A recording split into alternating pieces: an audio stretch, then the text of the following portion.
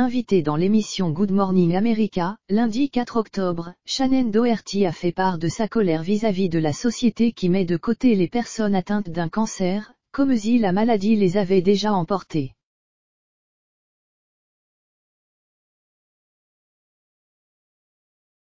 Depuis six ans, Shannon Doherty se bat pour rester en vie. Dans l'émission Good Morning America, ce lundi 4 octobre, l'actrice de Beverly Hills 90210 est livrée sur son combat contre le cancer du sein métastasé, qu'elle affronte depuis 2015.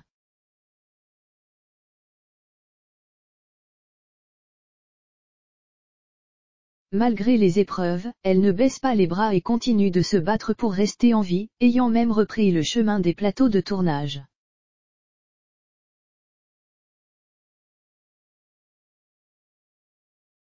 Shannon Doherty pour qui le travail a toujours été épanouissant, s'attache désormais à prouver que la maladie n'est pas incompatible avec une activité professionnelle, bien au contraire et regrette que beaucoup de personnes au stade 4 soient mises de côté, comme si on les enterrait avant même qu'elles n'aient pu se battre, on part du principe qu'elles ne peuvent pas travailler ou alors qu'elles ne peuvent pas travailler à pleine capacité.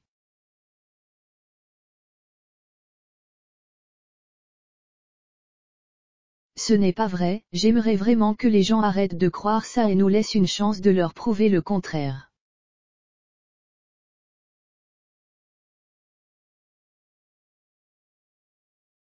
L'actrice a d'ailleurs tourné dans pas moins de trois longs métrages cette année, dont The Fort avec Bruce Willis.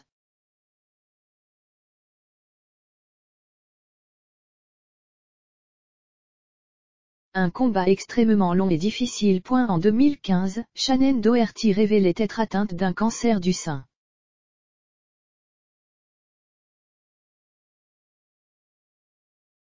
Après plusieurs années de traitement de la chimiothérapie, à la radiothérapie en passant par la mastectomie, l'actrice annonçait être en rémission en 2017.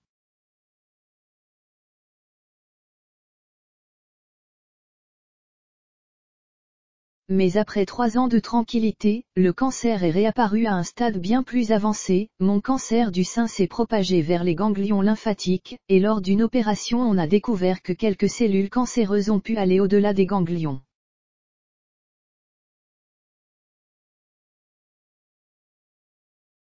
Malgré tout, Shannon Doherty ne perd pas espoir et continue de profiter de la vie en passant du temps avec ses proches, je ne veux pas agir comme si j'étais en train de mourir.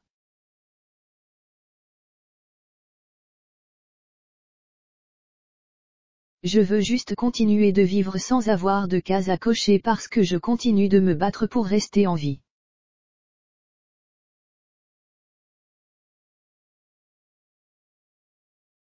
Un joli message d'espoir.